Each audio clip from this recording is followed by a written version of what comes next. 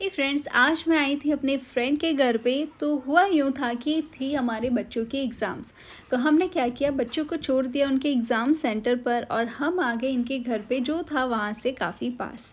तो बस इनके घर का जो व्यू था, बहुत ही सुंदर था। साथ ही अगर आप देखोगे, यहाँ पर इन्होंने अपनी बालकनी को कितने अच्छे से डेकोरेट करके रखा है विथ ब्यूटिफुल प्लांट्स आपको हर तरह के प्लांट्स दिखेंगे। मैंने घर के अंदर का व्यू तो नहीं बताया आपको अदरवाइज़ घर पर भी बहुत अच्छे अच्छे प्लांट्स इन्होंने बना के रखे। और ये स्पेशल नाश्ता इन्होंने बनाया था इसकी शक्ल पर मत जाइएगा। वैसे लास्ट तक देखिएगा वीडियो इसमें दूसरा ट्रायल भी किया है। और हाँ ये जो बनाया था इन्होंने ये जो रेसिपी थी या जो नाश्ता बनाया था बहुत ही टेस्टी था और वो भी गर्मा गर्म चाय के साथ। तो मज़ा आ गया। तो पूछना तो बनता है। ये ये ये क्या बनाया आपने? माता ने क्या बनाया? नया एक्सपेरिमेंट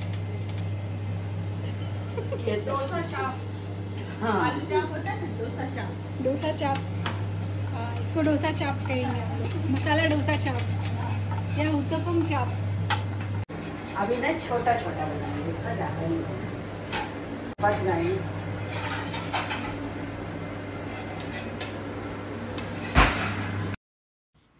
एक्चुअल में इसको गर्मा गर्म खा के ना मज़ा बहुत आ गया था तो हमने फिर से एक और खाया। ऐसा नहीं कि बस हाँ एक हो गया तो पेट भर गया नहीं नहीं नहीं। सेकंड ट्रायल हुआ सक्सेसफुल वो एक्चुअली क्या जल्दी जल्दी, जल्दी ज़्यादा के चक्कर में मुझे लग रहा हाँ, था उस लोगों के तवे तो होते हैं बड़े बड़े ऐसे करो। यस यस अपना क्या भाभी? आपके घर आके बेचारी उसी से काम करवाया आपने। हम यही नहीं यस मीनल्स किचन स्पेशल भी काम पे लगा लेते। है ना? ये भी मैंने अच्छा बोल।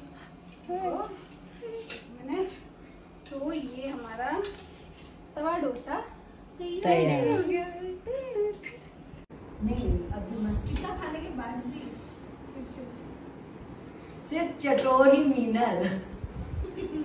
कि चटोरी मम्मी। नहीं मम्मी चटोरी है मीनल नहीं है। सही बात। मम्मी तो है। इसके ऊपर ये भी डाल के।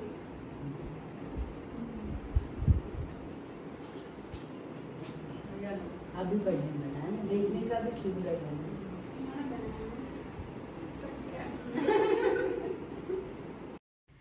तो खूब सारी मस्ती और ठहाकों के साथ हमने अपना टाइम निकाला और उसके बाद हम आ गए बच्चों के साथ घर पे। मैंने बनाई थी मैंगो आइसक्रीम बच्चे को दी आइसक्रीम और ये हो गया हमारा आज का दिन पूरा। अगर आपको वीडियो पसंद आया तो सब्सक्राइब कीजिए और बिल्कुल जुड़े रहिए मेरे साथ और भी वीडियोज़ के लिए।